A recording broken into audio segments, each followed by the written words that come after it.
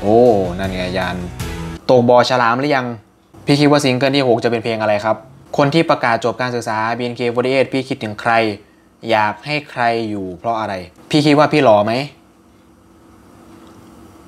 อืม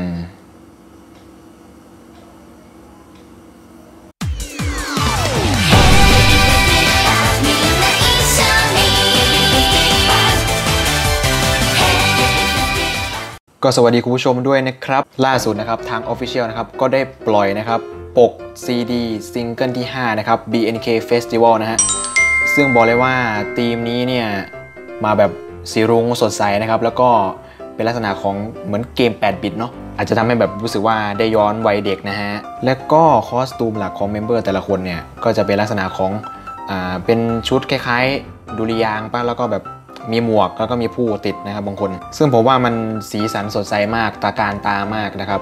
แต่ว่าบางคนก็แบบเออเอาฮานะครับผม ไปมองว่ามันเหมือนกับแบบพวกลูกทุ่งอะเออที่มันต้องแบบว่า ว้าวแบบสีสันสดใสอะไรอย่างเงี้ยแหมก็เชื่อมโยงเก่งนะแหมแล้วมีการย้ำนะครับแหมโซเอาจ้าสามแสนแผ่นขายหมดแล้ว ก็แสดงความยินดีด้วยกับ Official นะฮะ ถ้าโพสต์มาแบบนี้นี่แน่นอนไม่มีทำเพิ่มแน่นอนนะครับ ตัดใจได้เลย แต่เราก็ยังสามารถซื้อโค้ดลงคะแนนในซิงเกิลที่ 6 ได้นะครับ ผ่านลิงก์ที่เขาให้มานั่นแหละ shop.bnk48.com นะครับก็ไปซื้อโค้ดเลือกตั้งในนั้น แล้วก็มี teaser ปล่อยออกมาครับผมเป็นตัวอย่างมั้งนะครับ ก็เดี๋ยวมาดูว่า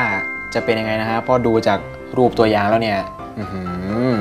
คือมันแบบให้ความรู้สึกเหมือน เราเล่นเกมเกมหนึ่งอะแบบตะลุยอวกาศอะไรอย่างงี้ป่ะแบบน่าสนใจครับ ซึ่งเขาบอกว่าเดี๋ยว MV จะมาเร็วๆนี้นะฮะ เดี๋ยวเราจะมาดู teaser กันก่อนเลยฮะ ความยาวไม่เยอะนะครับ แค่ 18 วินาทีแค่นั้นเอง มาครับ 1 2 3 โอ้ นั่นไงยาน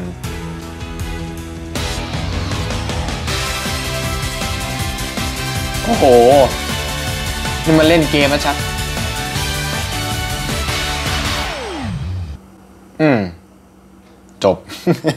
แค่นี้แหละครับ อ่า เป็นทีเซอร์ที่ดีครับผม เดี๋ยวเรามาดูว่า MV จริงเนี่ย มันจะออกมาประมาณไหน คืออยากรู้ว่าเขาจะทำเหมือนของ AKB หรือเปล่าหรือว่า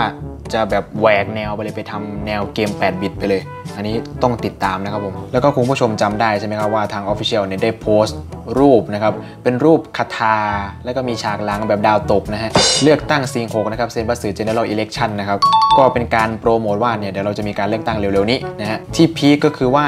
ทางเพจ Official นะฮะเขา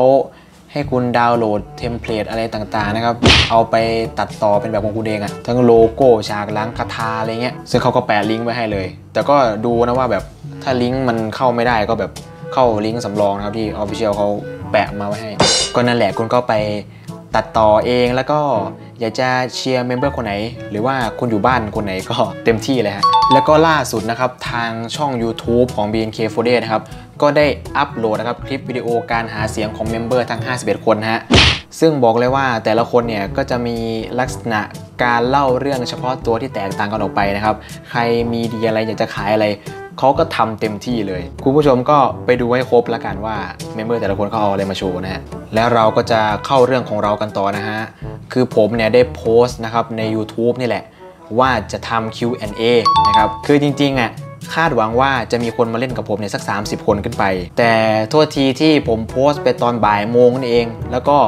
เนี่ยผมต้องรีบทำคลิป ก็เลยปิดรับคำถามตอนเที่ยงคืนนะครับคือผมก็คงจะไม่ได้ตอบคำถามทุกคนนะครับเพราะว่าเดี๋ยวคลิปมันจะยาวไป แล้วก็บางคำถามนะครับก็จะมีถามแบบ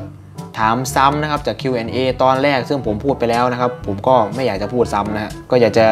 ตอบคำถามอะไรที่มันใหม่ๆเนาะแล้วก็บางคนก็ทำผิดกติกากันเยอะเลยนะฮะ ผมบอกว่า 1คนให้ถามได้หนึ่งคำถาม เออ แต่ถ้าแบบ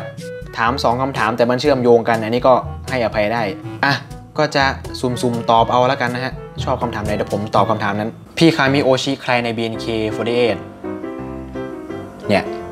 ใน Q&A แรกก็ตอบไปแล้ว ผมคามิโอชิโมบายโอเค จบ ตกบอฉลามหรือยัง อืม ก็คือปันถูกปะ ผมก็โอชิปันอยู่ มันก็ต้องตกสิวะ เออ เราโอชิเขาอะชอบ BNK48 ได้ยังไงครับ อืม อันนี้ก็เคยตอบไปแล้วใน Q&A ตอนแรกนะฮะ ก็คือโดนเพื่อนป้ายยาก็เพื่อนที่เป็นโอตะนะครับ แล้วก็ผมเนี่ยไม่ได้ชอบจากการที่เพื่อนเนี่ยเอามาป้ายยา ก็คือผมเนี่ยไปศึกษาเอง ไปเรียนรู้เอง แล้วก็ชอบเอง เรียนมหาลัยไหนหรอครับ แล้วเรียนคณะอะไรครับ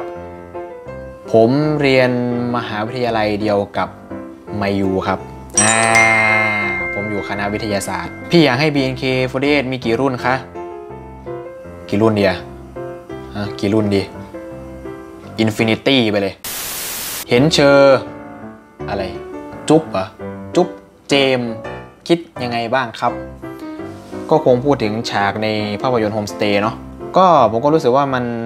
เป็นงานอะเนาะเออเราอย่าไปอินกับมันมากดิอย่าอินดิวะแค่มาอยู่โฮมสเตย์เฉยอะเออจะไปอะไรมากแสดงจบแล้วก็จบไปก็ไม่ได้เก็บมาคิดหรอกนะครับ แล้วก็จริง ๆ ผมรีวิวภาพยนตร์เรื่องนี้ไว้ด้วยนะ ก็กลับไปดูได้นะครับ พี่ชอบเรือไหนมากที่สุดระหว่างปันโมปะกับปันเจนิส อืม ถ้าถามผมเหรออ่าอ่าผมเลือกปันโมก็ได้อะ เพราะผมรู้สึกว่าคู่นี้เขาน่ารักกุ้งกิ้งกระดิกแมวดี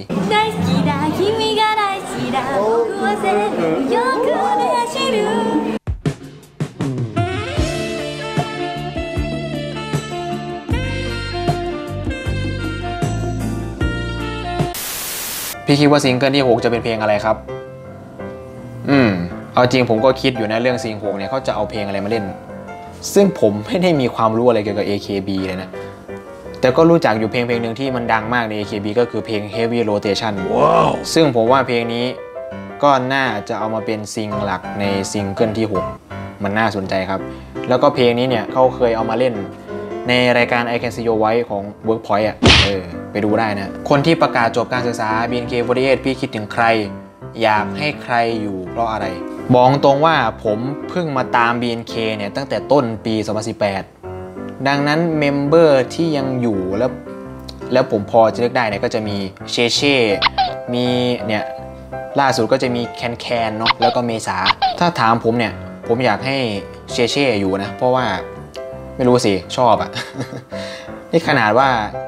แบบเห็นเขาเป็น member เนี่ย ในช่วงที่เรายังชอบ BNK เนี่ย เพิ่งเริ่มตอนนั้นอะเราก็รู้สึกว่าเออ เขาก็น่ารักดีนะ แล้วก็ได้ร้องเพลงあなたと Christmas Eve กับครูแก้วใช่ปะก็นั่นแหละเราเห็นผลงานเขาตอนนั้น แล้วเราก็รู้สึกว่าเออเพลงนี้มันพอดี คิดยังไงกับชุดเซ็มบัตสึซิงเกิล5แล้วก็คิดยังไงกับปกอัลบั้มอืมก็พูดไปแล้วแหละ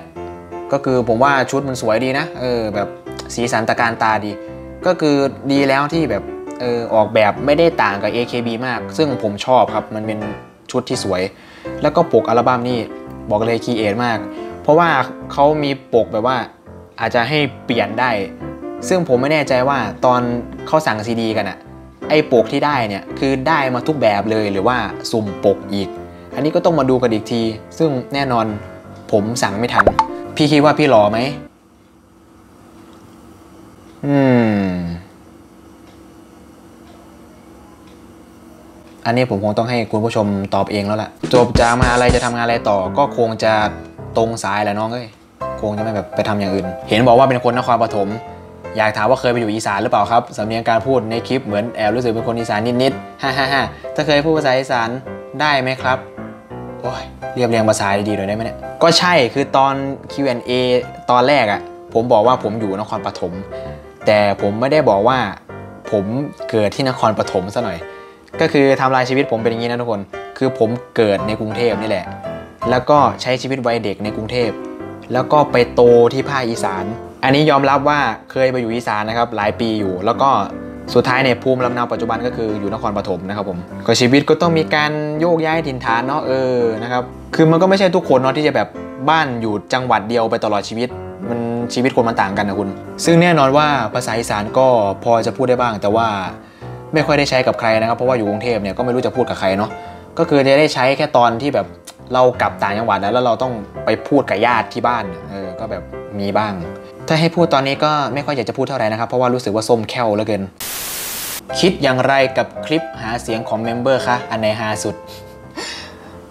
ต้องบอกคุณผู้ชมอย่างนี้นะครับว่า คือผมมาดูหมดแล้ว แล้วก็ผมเม้นทุกคลิปบอกเลย ผมเม้นทุกคลิปไปดูได้ คือผมอยากให้กำลังใจ member แล้วก็อยากจะเป็นส่วนหนึ่ง นะครับในการหาเสียงของเขาก็คืออยากจะเข้าไปดูว่าแบบแต่ละคนอะเอาอะไรมานำเสนอ คลิปไหนที่ฮาที่สุดเหรออืมผมว่ามันหลายคลิปนะ ชอบหลายคลิปเลยเอาเอาหลักๆแล้วกันก็ไม่รู้นะ ผมคงนึกแบบดีที่สุดไม่ออก ผมชอบคลิปของน้ำหนึ่งฮาจริงอันนี้มาแบบบ้านบางละจันอะไรอย่างนี้ แล้วก็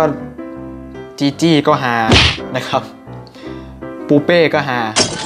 อ่าลองไปดูเอาแล้วกัน ถ้าคนที่พี่ติดตามจบการศึกษา พี่จะตาม BK 4 8หรือเปล่าครับ โอ้โห สมมติว่าโอชิผมจบการศึกษาหมดเหรออุ้ยทำใจยากอยู่นะน้อง คือพี่อาจจะเฟลไปสักพักหนึ่งแหละ ก็จะแบบก้ากึ่งก้ากึ่งแล้วว่าแบบเอ๊จะยังไงต่อจะเลิกตาม BNK เลยหรือเปล่า ไม่รู้ครับซึ่งไม่อยากให้มันเกิดขึ้นนะฮะไม่อยากให้มันเกิดขึ้นจริงๆโอ้อันนี้ถามค่อนข้างเยอะนะฮะเนี่ย สามคำถามเลยจะตอบอะไรบ้างเนี่ย พี่เป็นคนจังหวัดอะไรคิดยังไงกับการเลือกตั้ง BNK พี่รู้สึกยังไงกับการพ r ออเดอร์อืมจังหวัดก็ไม่ต้องถามแล้วมั้งก็บอกแล้วว่าเป็นคนอีสานเออส่วนคิดยังไงกับการเลือกตั้งเหรอ ก็รู้สึกว่า อืม ก็ตื่นเต้นดีครับ ก็รู้สึกว่าเป็นอะไรที่อลังการแล้วก็น่าจะได้ลุ้นได้เสียวนะ ก็เป็นกิจกรรมที่ดีครับทำตามวงรุ่นพี่ ส่วนการพ r ออเดอร์เนี่ยก็ แน่นอนไม่โอเคครับ มันจำกัดไงแล้วก็เว็บมันล่มด้วย ให้เดาหนูคามิใคร มีอย่างนี้ด้วยนะครับผม นี่คือถาม Q&A ก็คือถามเกี่ยวกับผมปะอันนี้ผมต้องตอบคำถามคุณปะเนี่ย อืมโอชิใคร คามิใคร ชื่อเขาก็บอกว่าเนยลินะไข่มุก แต่ว่ารูปโปรไฟล์เป็นรูปมิวสิก แล้วจะคามิใครล่ะคุณ อะผมเดาว่ามิวสิกแล้วกันไม่รู้นะครับ ถ้าใครมีใครก็คอมเมนต์บอกด้วย พี่ไปงานจับมือมาทั้งหมดกี่ครั้ง แล้วไปจับมือใครบ้าง รู้สึกอย่างไรในงานจับมือครั้งนั้น โอ้น้องครับ ถ้าน้องตามช่องพี่จริง ๆ นะครับ ผมทำคลิปไว้หมดแล้วนะครับ งานจับมือซิงเกิลที่4นะครับให้วิดีโอมันตอบแทนผมแล้วกันเพราะผมพูดไปหมดแล้วก็กลับมาดูได้นะจ๊ะเนี่ยอันนี้ก็ผิดกติกาแล้วเนี่ยโอ้โหห้าคำถาม พี่จบมหาอะไรยังทำงานอะไรอยู่เป็นคนจังหวัดอะไรพี่ติดตามมีเคไปนานแค่ไหนพี่คิดเลิกติดตามมีเคไหมผมเรียนอยู่ปี 4 ยังไม่จบนะครับ ส่วนจะติดตาม BNK ไปนานแค่ไหน ก็คงจะตามไปอีกนานนะครับ ก็ถ้ายังทำเพลงอยู่ ยังขายโฟโต้เซตอยู่ ก็ตามไปเรื่อยเออจะเลิกทำไมใช่ไหมแล้วก็ไม่เคยคิดจะเลิกตามด้วยนะครับ มันเหมือนเป็นจุดเปลี่ยนชีวิตเลยนะการตาม BNK48 เนี่ยคือถ้ามองตัวเองตอนนี้นะ แล้วก็ย้อนไปมองตัวเองเมื่อก่อนเนี่ย ก่อนที่จะมาตาม BNK48 เนี่ย คนละคนนะบอกเลย คือมันเปลี่ยนชีวิตผมจริงๆครับ BNK ขอบคุณที่ถามคำถามนี้ครับเเป็นคำถามที่ดีครับผม โอเคก็จบไปแล้วนะสำหรับ Q&A ครั้งที่ 2 นะครับผม ก็ขอบคุณผู้ชมทุกท่านนะครับที่ถามกันเข้ามานะครับถามมาเยอะจริงๆนะฮะแล้วก็ติดตามไม่ดีเลยว่าช่องผมเนี่ยจะมีคอนเทนต์อะไรแล้วก็จะทำอะไรต่อไปนะฮะขอบคุณสำหรับการรับชมนะครับใครที่ยังไม่กดติดตามอย่าลืมกดติดตามให้ช่องผมด้วยนะฮะจะได้ไม่พลาดชมคลิปใหม่ๆนะครับไว้เจอกันใหม่กับคลิปหน้าสำหรับวันนี้ไปแล้วสวัสดีครับ